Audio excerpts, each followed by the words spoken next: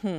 Now, if you're just tuning in, it's our ladies' night out, and today we're discussing the perceived impatience of today's youth and we're asking who to blame. Uti and Sanzi, people have not told me who, who, we are supposed to be blaming in this matter. But please. No, I have told you. let us hear what you have to say. Remember, you can uh, join the conversation.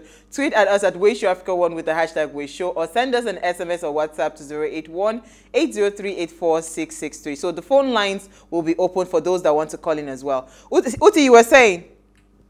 No, I said you were asking that. You said we haven't told you. I said, in my own opinion, I've shared my thoughts with you culture has moved on with the lack of role models. I mean, the list is endless. But anyway, so I'll take are we, this are comment. We putting, are we pinning this now on leadership, or who? What are we pinning it? No, on? no, no. So it's it's not just leadership because again, who are the leadership? Leadership come from within the us. people, yeah. So for me, it's not necessarily a, a leadership thing. It's just that with time, the world has moved on. First of all, wherever you are, whether you're in Nigeria, whether you're in China, whether wherever you are, it's now we're switched on where every we're on 247 mm-hmm. so that in itself creates a gap where nigeria is not as fast as the rest of the world but we have the internet to see how fast the rest of the world is. Mm-hmm.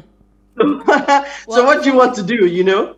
Um, but anyway let me quickly take this comment by by a viewer called benson. It says by design youthfulness comes with restlessness.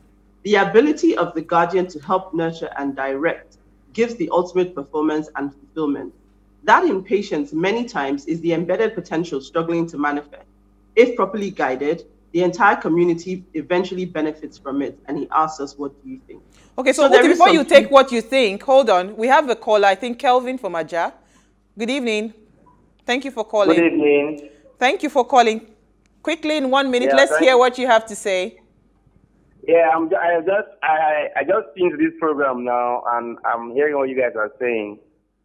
Okay, go ahead. I, I, I think the leader, the leaders are they, they really failed Nigerian youth. Okay.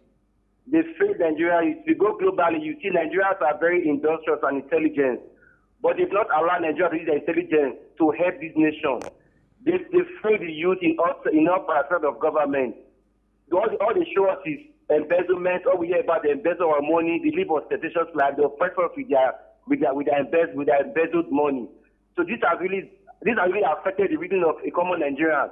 There is no way, they, they, don't, they don't believe in legitimacy anymore. They don't believe in, in hard work anymore. They believe it's either you get it, either you get it either way. Because the leaders, they've done so much, they've, they've, they've, they've, they've, they've affected Nigerian psycholo- psychology globally. Hmm. I've been to some countries in the world. Nigerians are very hardworking, but our intelligence and they've made up to use the other way around. That's why Yahoo cannot stop because Nigerians are, you, the youth are angry. Hmm. They, they, they, are frustrated. Education system has, they, everything has failed them. All we see is them embezzling money, embezzling money. Somebody will steal 30 billion, they will give him kind of 200,000 naira. Hmm. It's all about nepotism, who you know, godfatherism, cabals. Man, this country is a joke, man. It is well. I, I like you guys. Keep it up. But Thank Nigerian youth, you, you, they failed us. Thank you so much, Kelvin. They failed us. Thank you so much, Kelvin. Um, I disagree. The country is not a joke. it's not I a joke. I'm a patriotic citizen, and uh, Nigeria can be a bit frustrating sometimes, but hmm. it is it is not. We are going to get through through through it. Yeah. Uti, you were going to so, take okay. um um you were going to say something about Benson's comment, right? Quickly. So yeah, so he was he was just asking if you know what do we think about that in terms of the restlessness of the youth Absolutely agree. I mean, if you look at any child, they, they're unable to sit still because they're exploring, they're learning. That's how they're, they're you know, understanding the world. So absolutely, absolutely, youthfulness comes with um, a restlessness. It's how you channel that energy. And again, I mean, he does raise a very valid point here about the the the, the job or the, the place of the guardian or the parent. Mm. and that's another thing that is being eroded in today's culture. Mm-hmm. we also have i mean you see some children sometimes and you see their parents and you think really? Um, some people are not some people shouldn't be parents but they're parents. And mm. this is not judging. This is just the fact that yeah. parents also need to take that job responsibility seriously, seriously, yeah. It's a you know you are you you bring a human being into the world and your job is to make sure that this person is a well-adjusted, balanced member of upstanding member of society. Mm-hmm. And a mm-hmm. lot of that these days is lost. I mean, whether it's in the hustle looking for money or whatever it is. See, okay. honestly, I think we blame parents too much. We should also understand that these people we're talking about, they are independent individuals. No, hold on, Maybe when explain. they're in their in their in their baby stages. let me explain something to you. It's not about blaming parents, right? You see, everybody right now has a responsibility to play. I, I believe that who, if you say who's to blame, everybody have failed. We failed ourselves. Now, listen. So okay. It is only when the child has gotten to a certain age that you can now say the child, you understand, is an individual on its own. Where this this your morals that you are preaching here, Mm. it was instilled when before you were eight years old. No, but hold on. Listen. no, hold on. Let me make my point. Yeah, it was instilled in me. I made the decision to stick to it. I've been in situations where I could have easily flung it out. yes. Do you understand? So it's no longer about my parents. If I had Yeah, but who are misbehaved, someone would hold my parents and say that no, that's wrong, right? So the person who chooses to not believe what the parents has to, it is no longer. I've seen parents who look at their children and they're like, "This is not the person I, I raised." raised, yeah. So in cases like that, you can't really blame the parents. For me, I believe that what we have to, what um, who is to blame is not the child.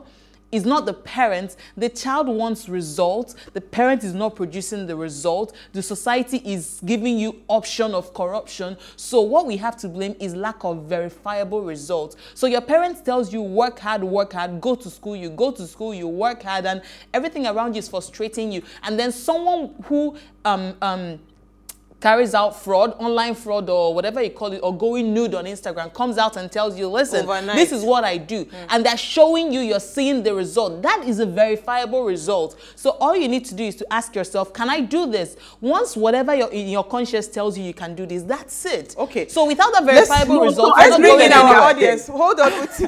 I have Uti. messages and I'm not done talking, but okay. No, please, you have to. Um, Ade um, from the UK says, "Good evening, ladies. This young lad has has turned their generation to be competitive amongst themselves. They want to achieve success at all costs. If you go to your village during festival, you will see a lot of comparison, even from parents." To next door or village friends who came for the festival, spraying money without not without knowing the source of the money. So that part is them. Uh, how about your comments? Yeah, and another thing is, I don't think there is anything like oh, it's not overnight success. I think it's overnight fame.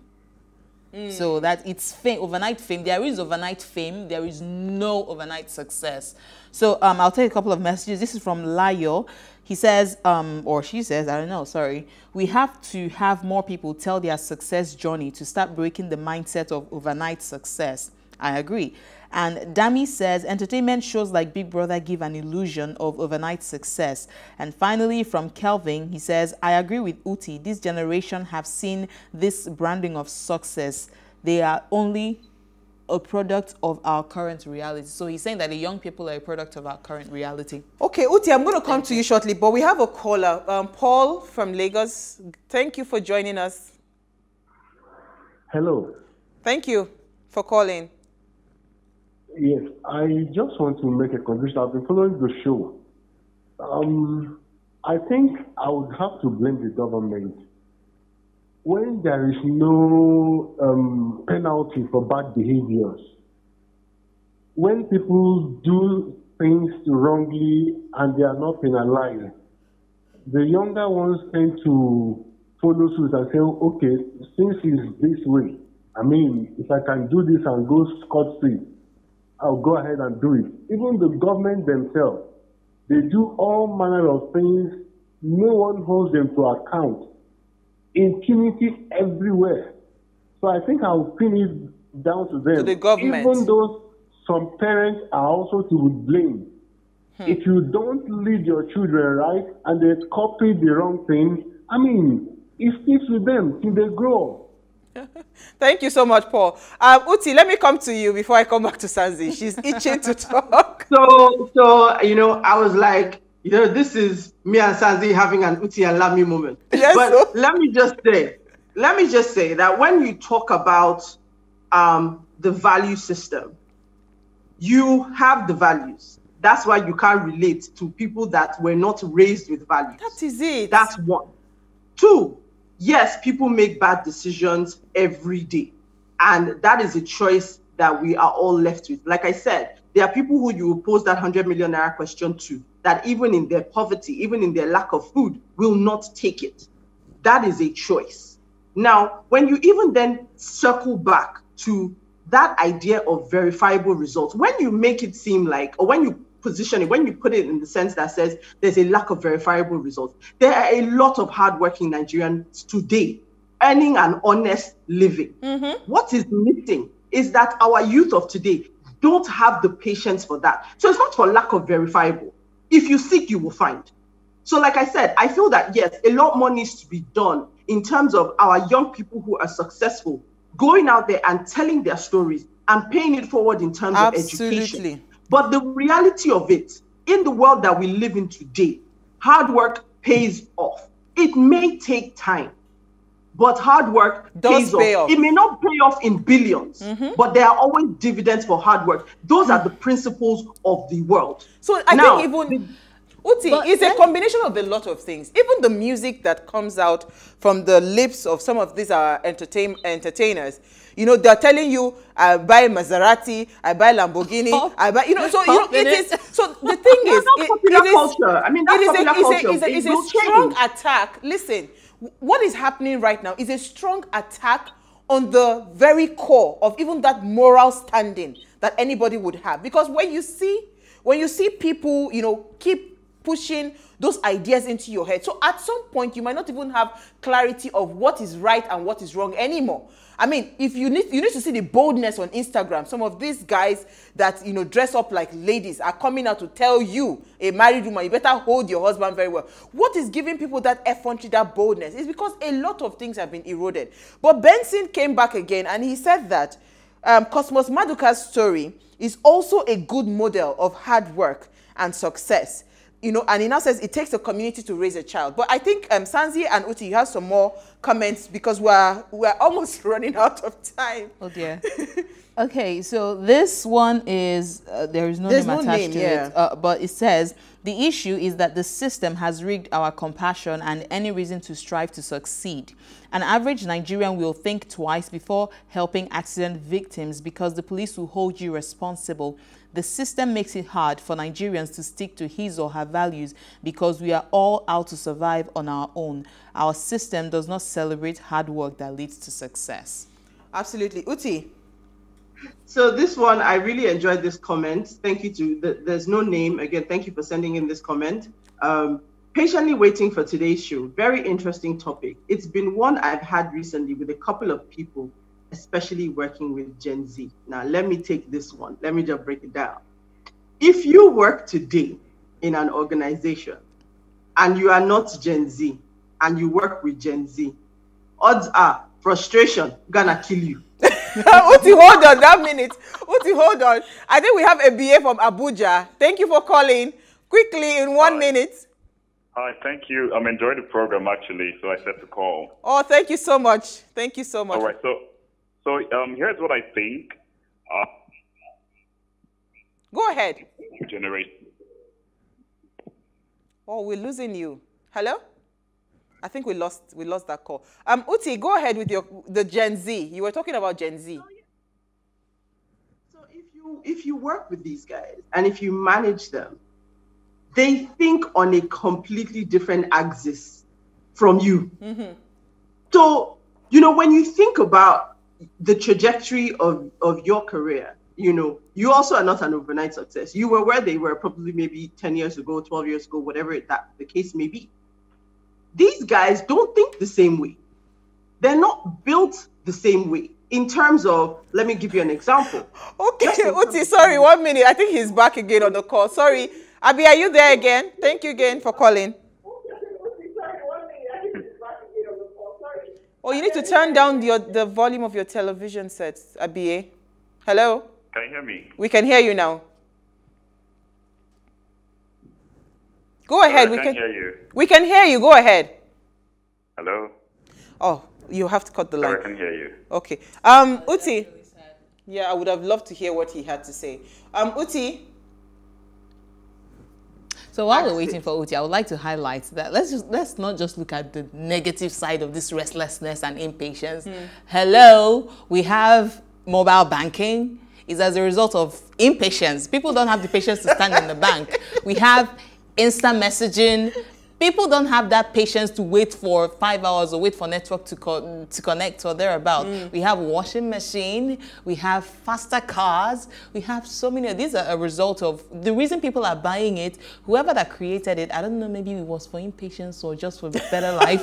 but hold on, people are buying it. Even you are buying. You have a washing machine, you have the mobile banking app, you have all these things. Why? Because life on the go. Okay, we all are you. Getting impatient. Uti, please let me hear your, your, your final chicken and egg. Sanzi, yeah, you're, it's chicken and egg. So you can't say that it's the fast life that brought mobile banking. It's the convenience that brought the always switched on. Technology moved on and people followed. I'm but anyway, all I come back to, to, to Gen Z in terms of their communication style. They don't think the way we do. So I feel like, you know, you keep asking this question about, you know, what's the cause? I feel that we will never even be on the same page because our brains don't work the same. We don't, we can't see, it's like you holding up a nine and me seeing a six, and you're like, no, it's nine. I'm like, it's six. Never shall we two meet. So the reality of it is, the foundation is that they think differently. They've grown up in a different world. They've grown up in an always switched on world. You are thinking, I had the patience to wait till 4 p.m. for NTA to come on. Duh, he doesn't understand what you're talking about. All you're saying you. is blah, blah, blah, blah, blah, blah, blah. Can I go and watch TV? So we are never going to, what we must also understand is we now need to understand our value, the differences. You know, there is strength in everything. We see the, the Zuckerbergs of the world, we see the 22 year old, 23 year old successes. What can we learn from them? As much as you want to say, oh, these people don't think like me, we also do have things to learn from them because the world has changed and they are actually more equipped for the world of the future than we probably are. Mm-hmm. So it's a two-way street. Whether, like Sanzi, Sanzi said, you don't have to look at it from just the negative. There's the positive side. What can we learn? Because guess what? A baby can teach you something. Mm-hmm. So what can we learn? Then we then need to look at the negative side of it. What is the effect? What is Yeah. the negative impact mm-hmm. of this fast life? Because it does have an impact. And because it's now a lot, it's you know, it's a bigger pool of people that the fast life is affecting. We're seeing it on a grander scale, mm. live and in living color on Instagram. So we also need to tackle it from both sides of, of the of the divide. But I just leave it. Absolutely. You know, I, I didn't think the time would just fly so quickly Oh, like this, but we've time. run out of time. But it's our ladies' like night out. So Tuesdays and Thursdays, we get to, you know, I, I think I'll be pairing both of you very well. I like the energy in the room.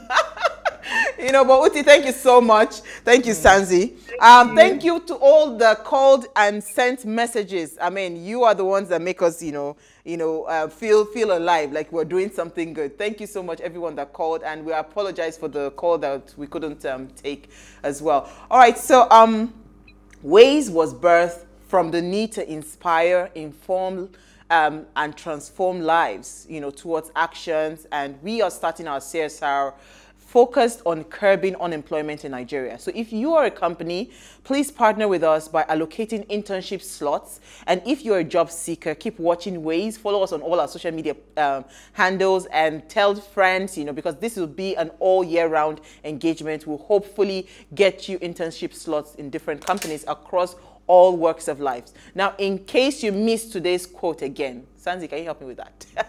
All right, so in case you missed the quote, here it is hastiness and superficiality are the psychic diseases of the 20th century. That's Alexander Solzhenitsyn. Ah, that's your name. what a name.